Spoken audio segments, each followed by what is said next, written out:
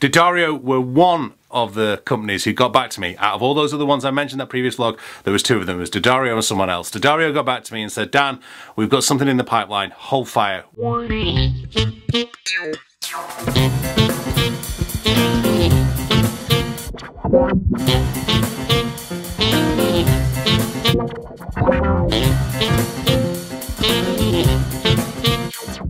Welcome along to today's vlog. Uh, you're very welcome here. Please do hit that subscribe button if you're not a subscriber already and smash a like, that would be really appreciated. Don't forget you can get four free saxophone lessons. That's the end of the plugs.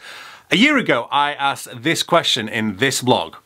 Uh, it's the COP26 climate conference next month in Glasgow and I'm actually wanting to put together a video to ask various saxophone manufacturers or the musicians etc about what the music industry is doing and what the industry could do better to combat climate change in light of COP26. So I just wondered, what would your questions be? What would your questions be to Selmer, Yanagisawa, Yamaha? Uh, what will your questions be to professional musicians, to tour managers? I want to be able to interview people like that. I've never really thought of the environmental impact of shipping a saxophone, say from Japan to London, um, from Paris to New York or further.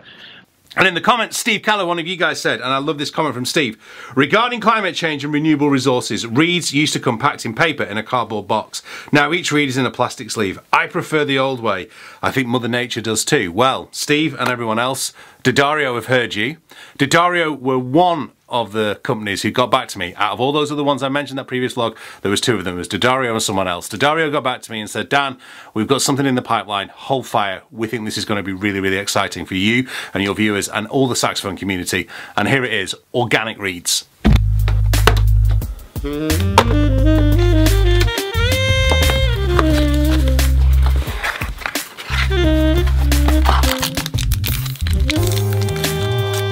Now I've got this nice box that Dario sent me to show off the organic reed. One thing you notice is everything here is cardboard, there's no plastic involved and the reed now comes back, as Steve was saying, in these old paper uh, holders. This is fantastic. Thank you Dario for listening. Now Dario have also sent some information out and they reckon by moving to paper, just paper reed holders, getting rid of those plastic reed holders, they are going to save 30,000 kilos of plastic a year. Now, you don't need to be a scientist to know that plastic is a problem in the world today. None of the cane that's grown across the world for D'Addario has these pesticides, herbicides, anything synthetic on it. You're putting it in your mouth all the time. You think about how many hours a day you're shoving those reeds into your mouth. And I am, I for one, am really, really pleased that my reeds are organic. But as with anything, do the reeds still play the same? Only one way to find out.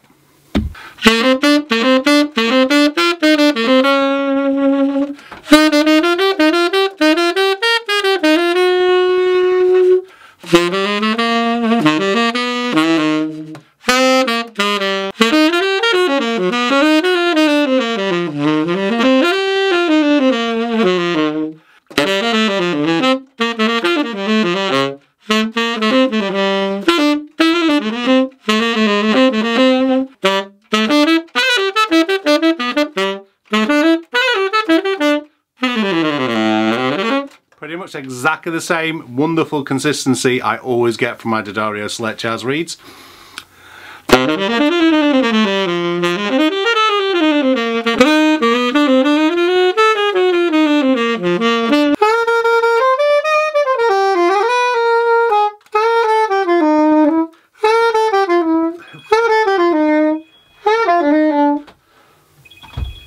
Best laid plans of mice and men and all that. My daughter's sick at school. See you in a mo.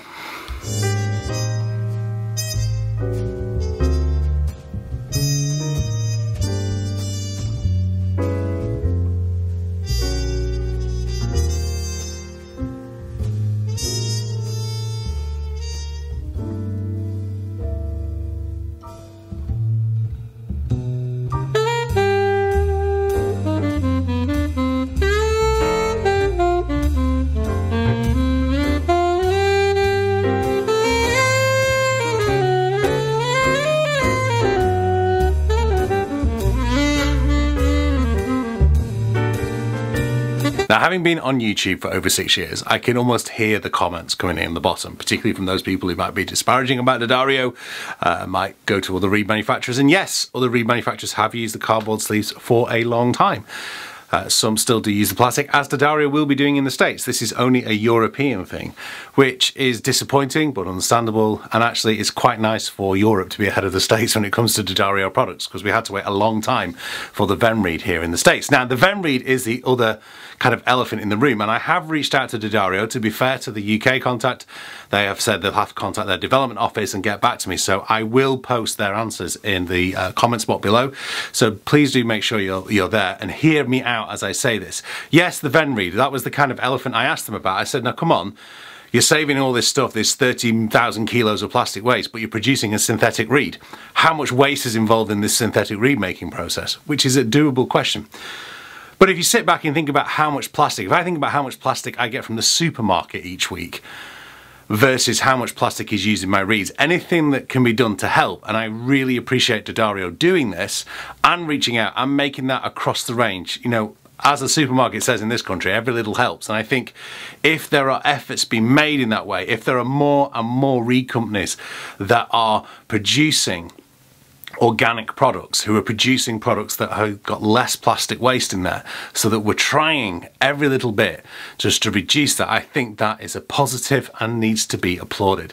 So I think D'Addario have done a good thing with these organic reeds. I hope you'll support them. I hope more reed manufacturers will go over to this organic process and we can just make that little bit of difference that we need to do. We have an awful lot more to do in the music industry to become more conscious of our environment, to become more respectful um, of where we live and what we do.